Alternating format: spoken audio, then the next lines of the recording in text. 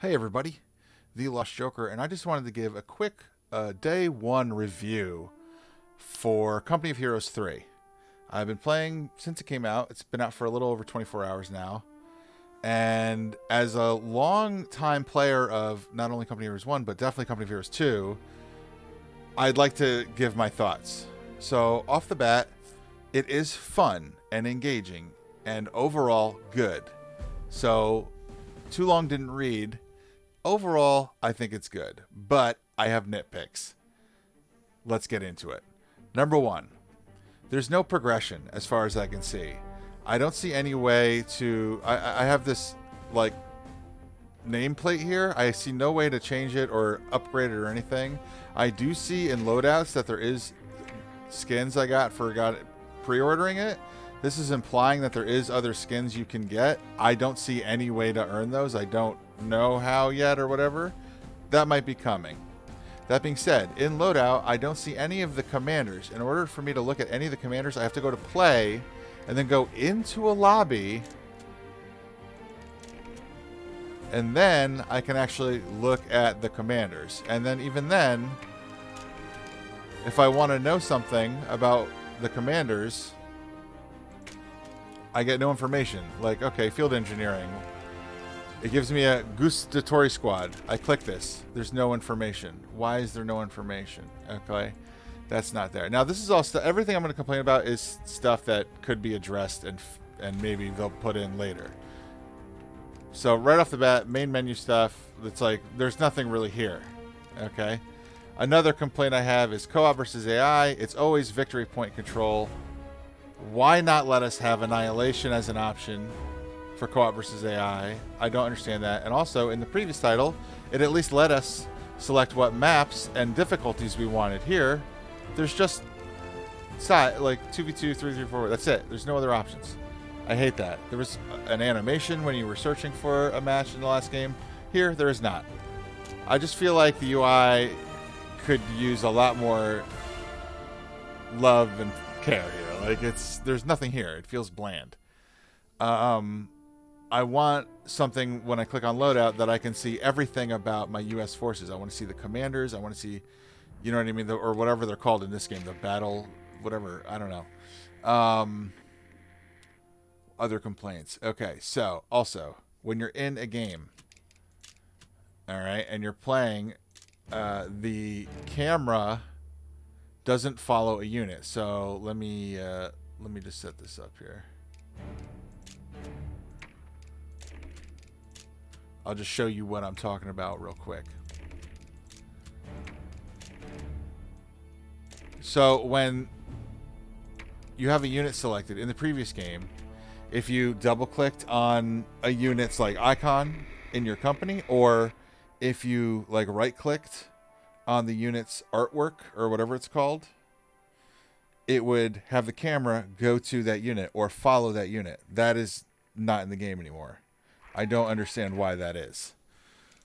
So, for example, right? I go over here. If I double click this. Sharp, oh, okay. Now. Listen up. We've got orders. That's weird. In another game, maybe that was patched. In another game I played, when I double clicked, it didn't work. Now, here's my main complaint. If I double click this, you hear that sound? It's it's indicating I'm clicking. You name it. We'll Why is the camera not going to that unit?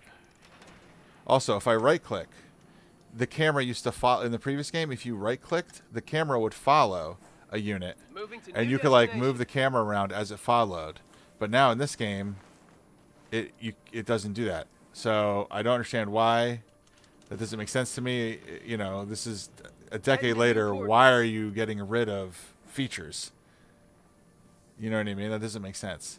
Um, and then my biggest complaint I have and it's not a big now i'm using a mod to zoom out this far but my my biggest complaint overall is that when you win in one of the auto matches um in the previous game when the when you won it would give you not not just a splash screen but it, it, the camera would go over to the enemy base and then there'd be a uh, an action like a bombing run or something would happen on the enemy base and it was so cool and then you'd get a little thing that came up it would give you a reward sometimes you'd get you know, skins for your armor. You know, sometimes you'd get rewards. In this, there's none of that. And then it would give you the option of continuing play or exiting the game. And I always, because it was victory point control, would click continue play so I can finish with annihilation, like just take out the enemy base. In fact, I found that very fun because the AI AI would take over my teammates' armies, and then I would just have it out alone with the enemy AI, and it was fun for me. In this game, it just it just there's a very sudden and abrupt splash, which I don't like. Just says victory, and then you're done with the match. Whatever you were doing at the time, whatever you were working on, no, you can't do it anymore. You're done. You're out. It's over. Um, I don't like that. That needs to be changed back to how it was. Um, other than that, so uh, that being all that being said, and I know it sounds like a lot of complaints. They're small complaints. They're small things, and they can be fixed very quickly. I also have some complaints about how the AI behaves, but I feel like that's going to be smoothed out. It's just a little janky to me. It act the AI acts weird sometimes. Anyway, all these complaints being said, I do enjoy it. Overall, it is good, and I get I get I do give it I give it a thumb and a half up because it's a new and better looking and improved and more fleshed out company of heroes than two. I see that in how the armies are built, but I just hope the potential here isn't wasted. Like, I hate that there's not a progression system for multi. Like, for you, there should be stuff we unlock. There should be all this. Now, maybe there's going to be seasons.